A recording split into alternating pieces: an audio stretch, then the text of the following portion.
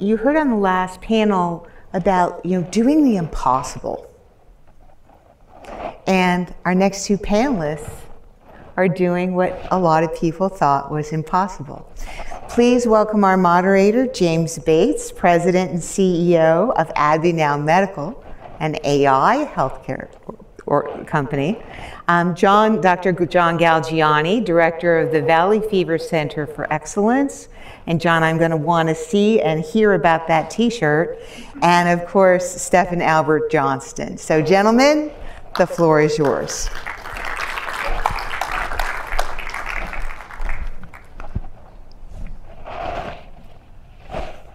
Well, it's a pleasure to be here with you two distinguished gentlemen.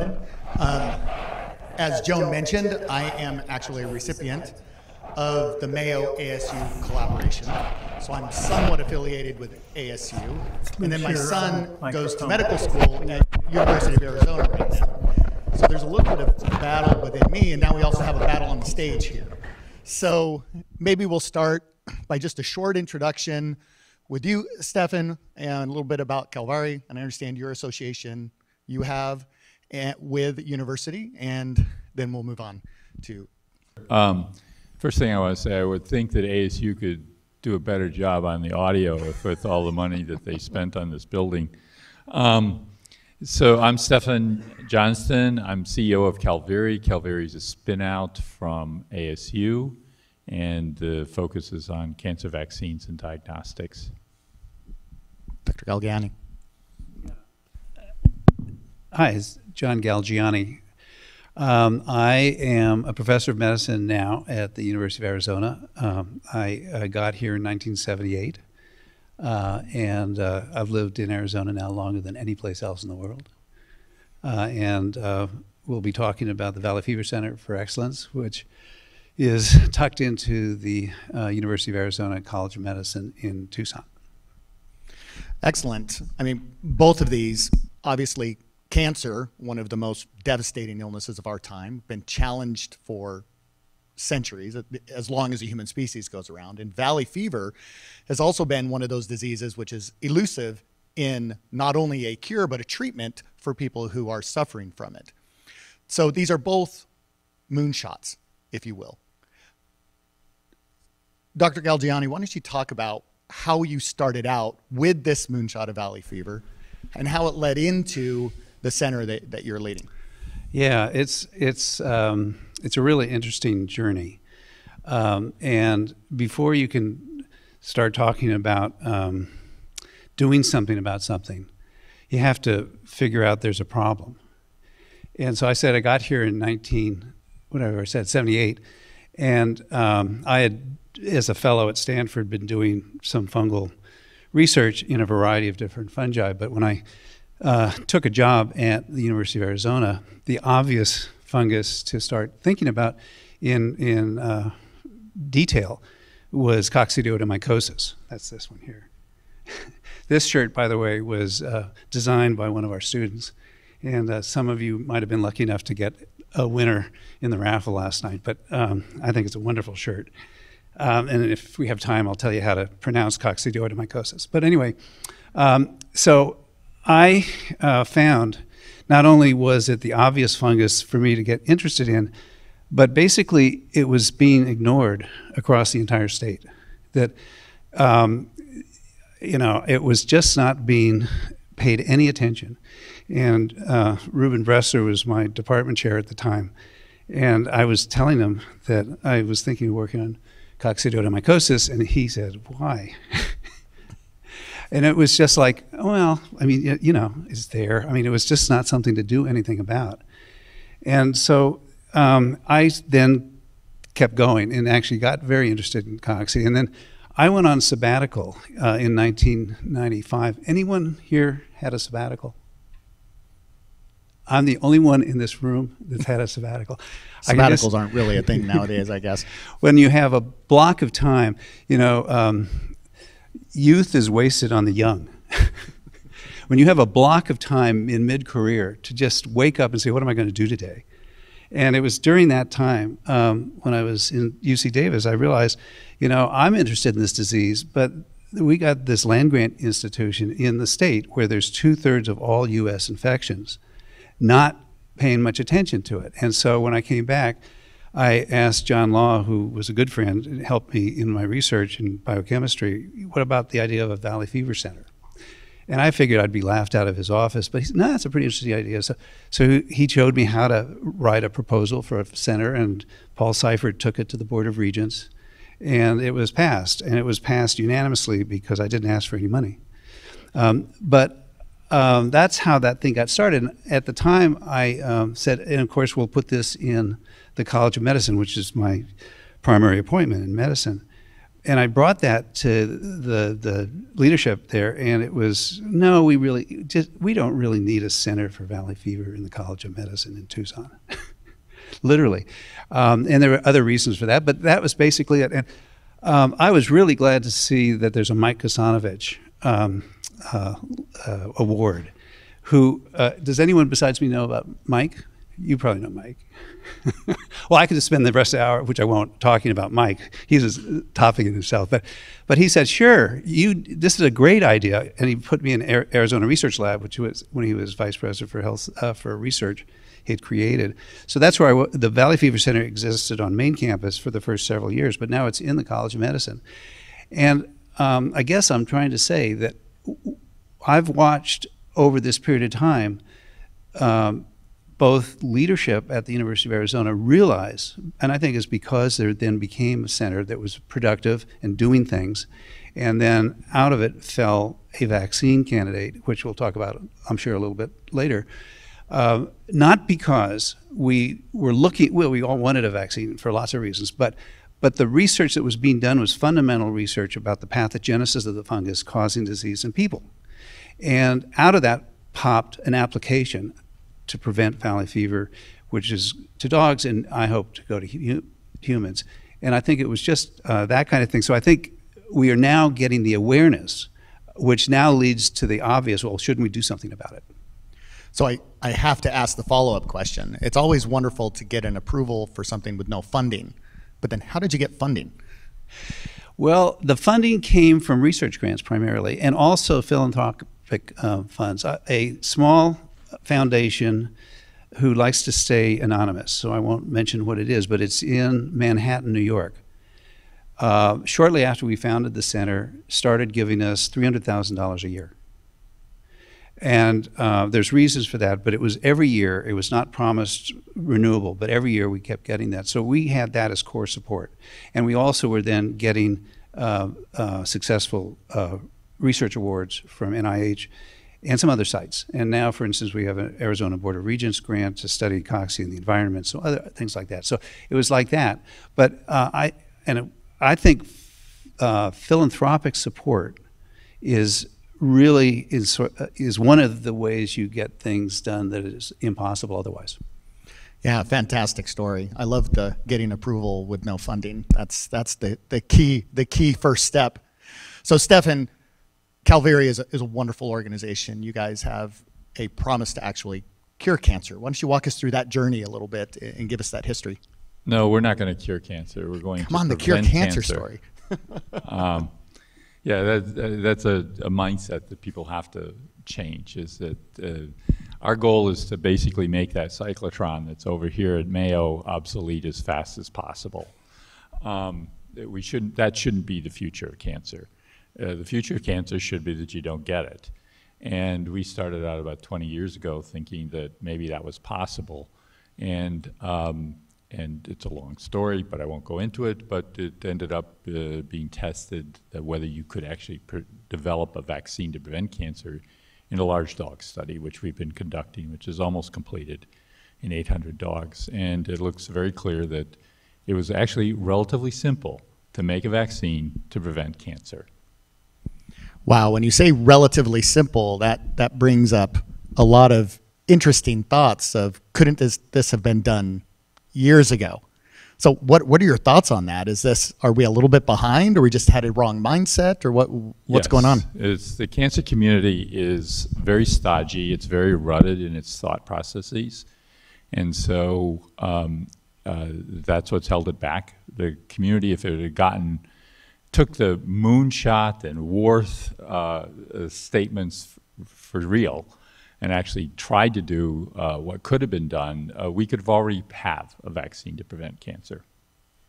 So what is your background that led to this fundamental thought? Uh, so I, I think of myself as an inventor, and inventors, their ideal thing is to find an area where there hasn't been much progress, and so uh, that certain cancer certainly qualifies for that. And so uh, that either means it's impossible to do something dramatic, or that people haven't thought of anything yet. And so we assumed it was the latter, and we were right. It's just really fantastic. So if you think about the study that's going on with canines at the moment, um, you said it's almost complete. Are, is there some preliminary results that you could share with the group? Yeah, it's very clear that the dogs that had a good vaccine take have a far uh, decreased incidence of certain cancers, not all cancers, but certain cancers, and deaths from cancer. Any other side effects that you're saying? No, that's important because over 400 dogs got this vaccine, and there's uh, no, uh, we've had two independent data safety monitoring boards look at it, and there's no uh, side effects from the vaccine. Yeah, my home is is a dog home. My my wife has three dogs, which she calls our daughters because I have three sons, so we have to match how many male children with, you know, female dogs apparently. So I've actually seen dogs go through the full age cycle. And I don't think I've ever had a dog that didn't develop tumors and cancer later on in its life. It seems like just the normal process. So if this is preventing cancer at, at, a, at a level and a rate, how many years are we expecting the dogs to continue to live? Are they just dying from other things of old age? Where, where do you kind of see that going? Yeah, that's a good point. Uh, so dogs have the same lifetime risk of cancer as people, essentially, about 30 to 40 percent. And the, the, uh, the, the demography of that incidence maps people almost exactly, just move seven years. Um, so it, there's six years rather than 60 is that the, there's an uptick in incidence. So that it would have an effect, and we've already seen that effect by decreasing the, the incidence of cancer. You you change the life expectancy of the dog population. But that doesn't mean that they're not dying of other things. They do die of heart disease, they die of dementia, they die of uh, arthritis, you know, when they're too old, they're put down. So those are the other things that will, will be a challenge for the longevity of dogs. So I guess the big question is how does this correlate to humans? Um, the canine body is obviously significantly different in the way it reacts to disease in many ways, but does this correlate directly to humans? It'll actually be easier to make a vaccine in people because in dogs, the, uh, the tumors develop about seven times faster than they do in people. So there's not much of a window to actually prevent the cancer. In humans, the ontogeny of a tumor can take anywhere from 5 to 20 years that gives us a much bigger window to prevent the cancer. So we think it'll be easier to make a preventative vaccine in people. So is a preventative vaccine given to everyone or given to people who are showing cancerous signs? Well, if you give it to somebody who's showing cancerous signs, it's not preventative. True. And so um, that's why we don't call this a cure, we call it a prevention. And um, that will have to be worked out, but the expectation it would be given to people, where, just like I said, where the risk rate increases at about 60 years old in people.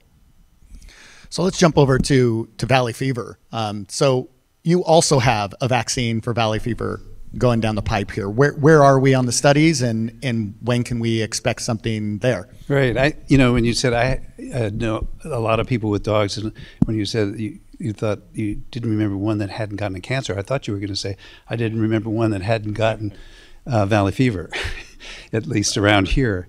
It's a big problem in dogs, and um, I mentioned that um, Marc Orbach and Lisa Shubitz at the university in the, in the Valley Fever Center, who only were working together because we'd created a center. Those people didn't know each other, except that we got them to work together on Coxsackie, and they they they developed a vaccine and uh, we it was really a, a, very wonderful vaccine in mice. And what do we do next?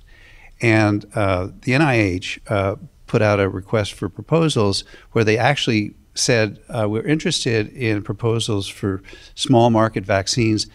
And they actually said in the RFA, for example, coccidioidomycosis. And so I thought we should write a proposal to that RFA. And we did and got funded. And it required us to have a uh, company as a partner.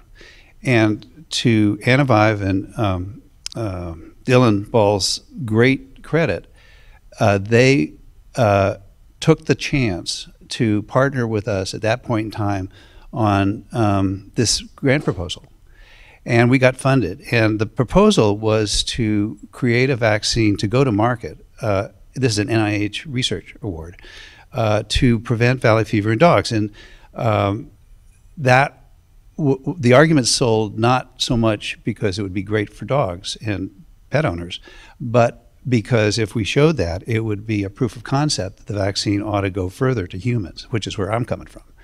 And um, to summarize, we, we did it. The, the vaccine is a fantastically good vaccine. It's the best of both worlds. It's a live vaccine, so you get whole cell presentation and you get multiple pathways of immunity stimulated. And uh, the basis for the live vaccine is the deletion of a gene, which is essential for the tissue phase of the fungus. So it is first generation incompetent. It's live when you give it as a vaccine, but it goes away in the first several days. It doesn't survive in tissue.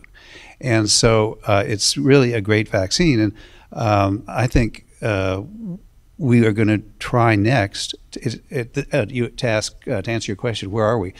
It's in process with the USDA. Uh, for for approval.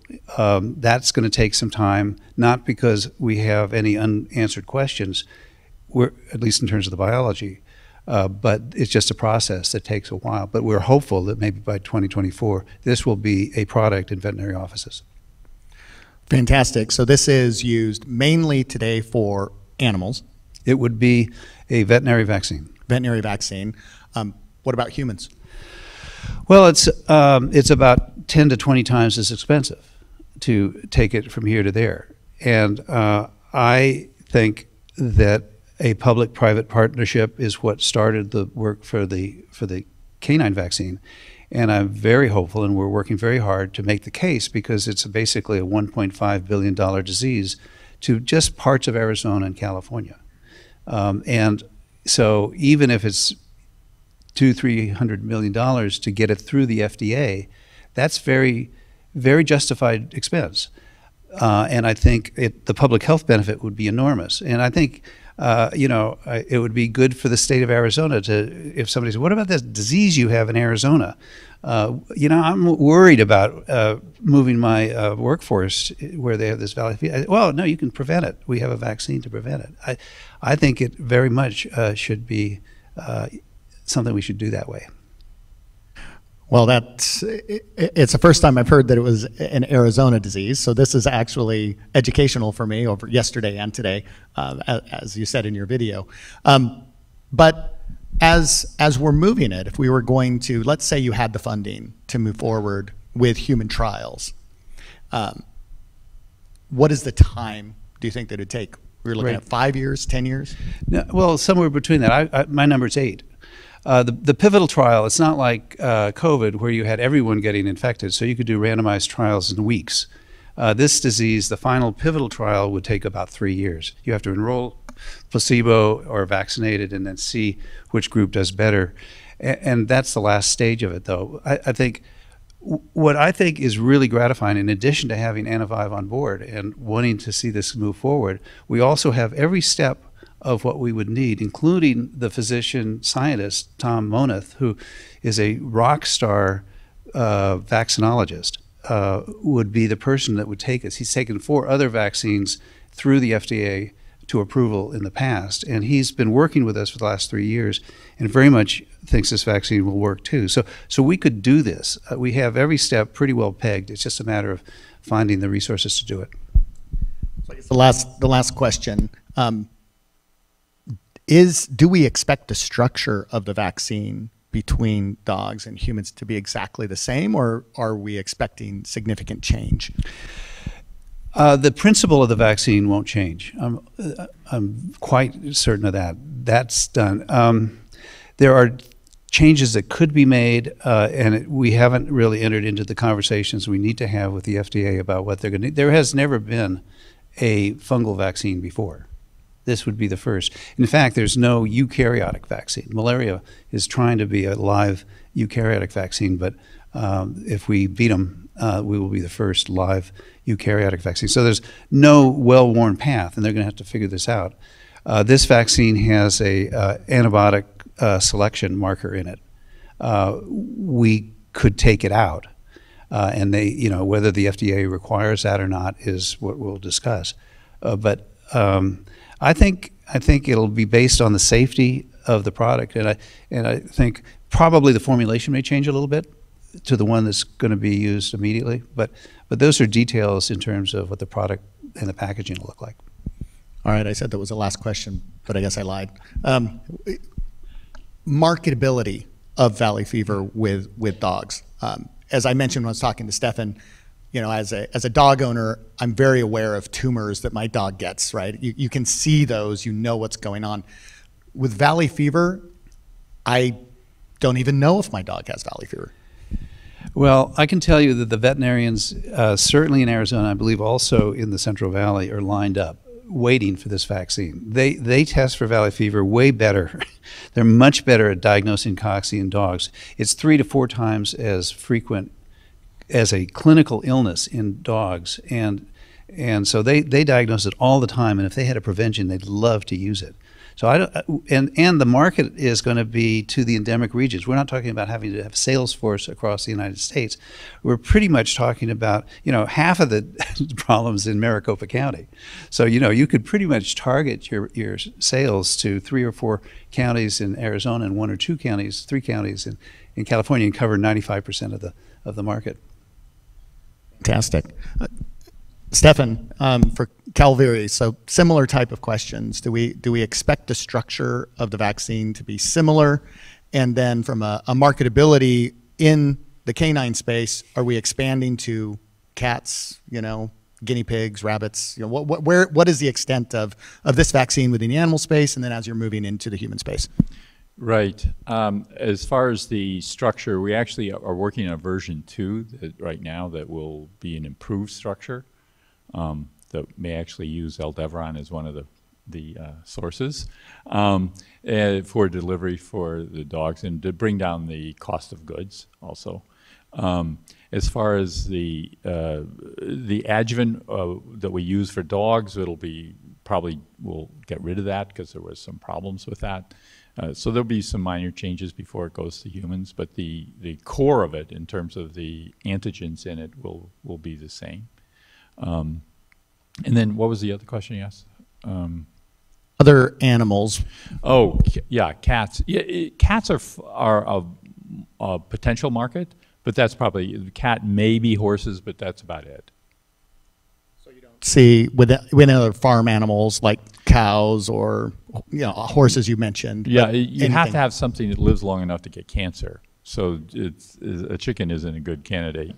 And so, um, but uh, I, I do want to point out and make uh, that dogs are not a model.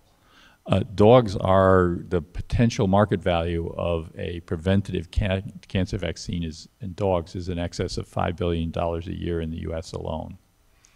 Uh, most people don't realize that uh, there's three times as many cancers in dogs each year as there are in people in the United States.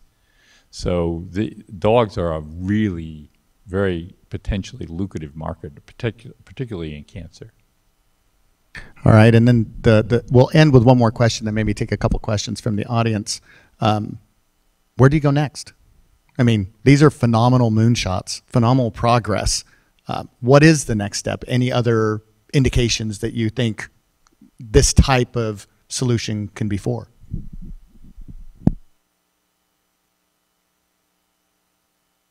I'm I'm pretty much painted into a corner around coccidioidomycosis, so I'm going to be quite satisfied if we uh, can solve this one. Um, I I think um, there is maybe a general idea that you can have things in plain sight and ignore them for long periods of time, um, and I think that for this disease, hopefully, is changing in Arizona. That people are now starting to realize we should do something about that. I can tell you that in the Central Valley of California, people vote on what their congressmen are doing about valley fever. Um, and because they're very, very mobilized, that they, partly because many of those people grew up there and they know somebody or they themselves had a really bad experience with valley fever.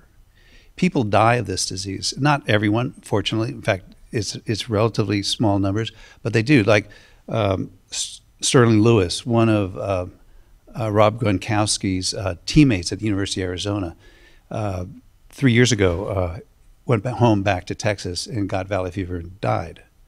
Young man. I mean, that stuff just happens. And that's what was happening and has been happening in the Central Valley. And people knew that kind of story in high school and that kind of stuff. And, and so they vote on it. And I think we should be doing that in Arizona too. I mean, this is our problem. And the more we start addressing it, now that we know, oh, it's here, we can do something about it. Uh, you know, if you don't ask the question, you don't get the answer.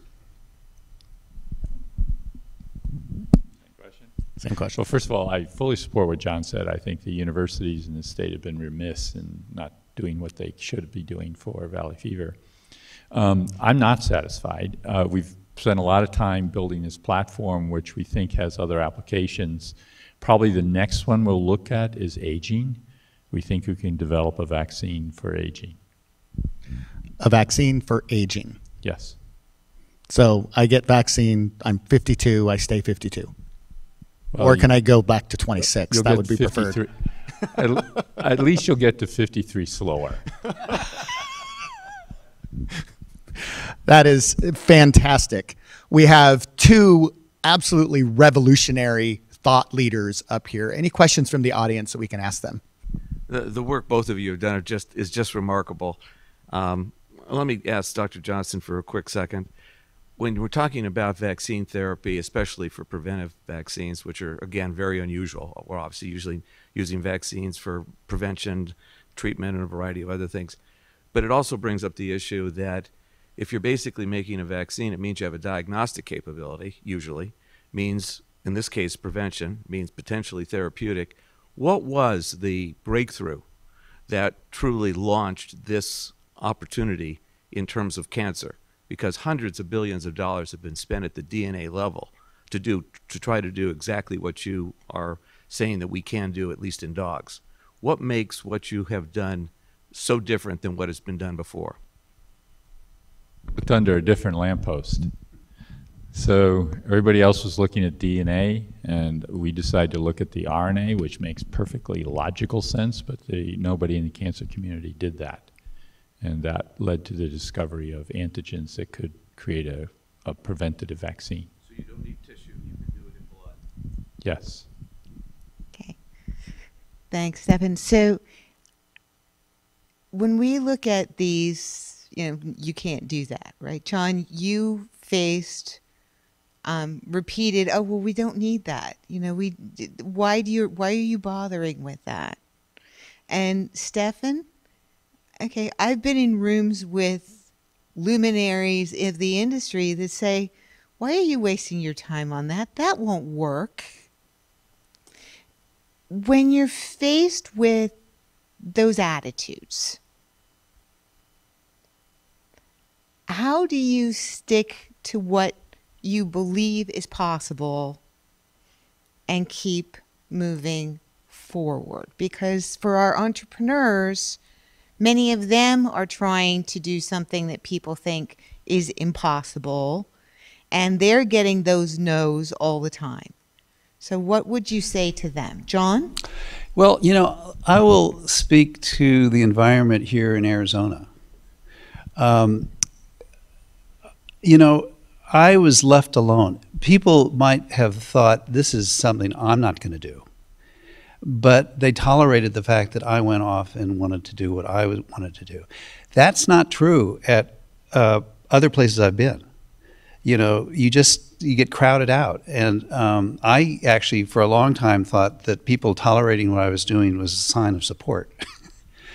Uh, because I wasn't being, uh, you know, I, you know, my lock still worked when I op- tried to open my door, um, and so that's. But I think that's true here in Arizona that you have space to to go in the direction you think you uh, want to go in, and um, and I think that that's really good. So I think the fact that people thought it was the wrong way to go, they still were tolerant and let me uh, play in my sandbox.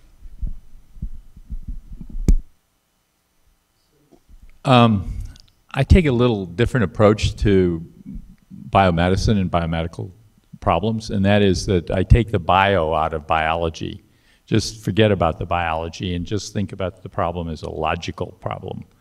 And I think as long as I kept going back to the logic of what we were trying to do and assuring myself that the logic held, then I kept going in spite of what everybody else was saying for biological reasons it wouldn't work. So I think that was, uh, to me, that was the most important thing. Take the bio out of biology. Thanks. And I actually have a question for James. So, you know, we talk about this future looking thing.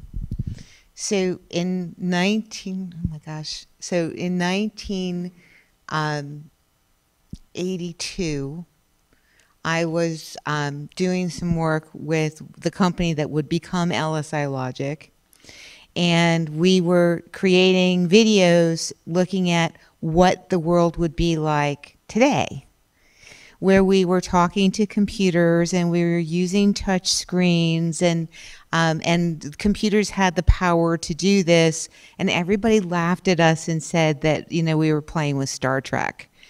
Um, today you're building a company based on AI. Are people starting to believe?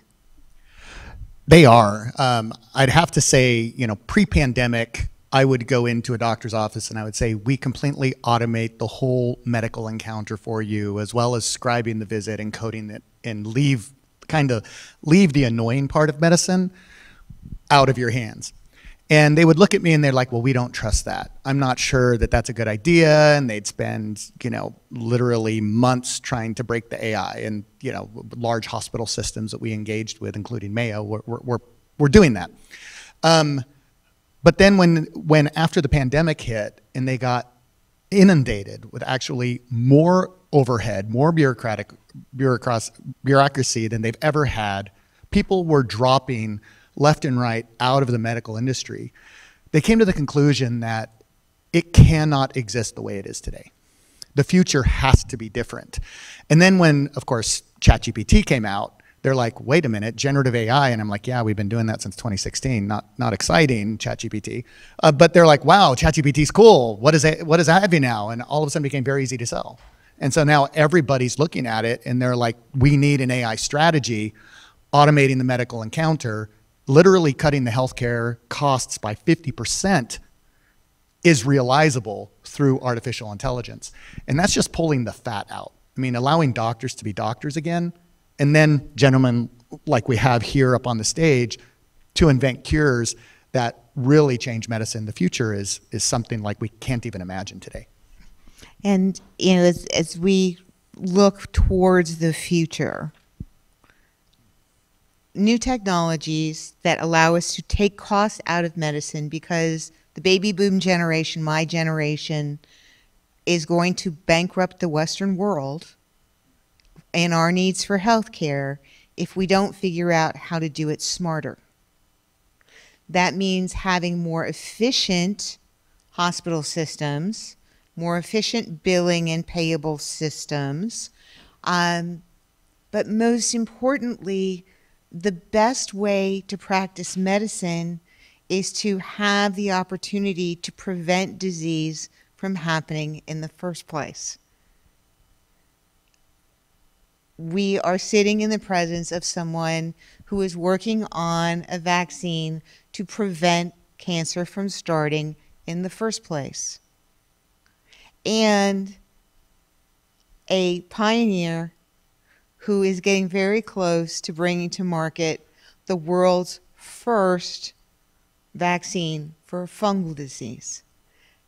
That is pretty cool. and you were here today to hear about it.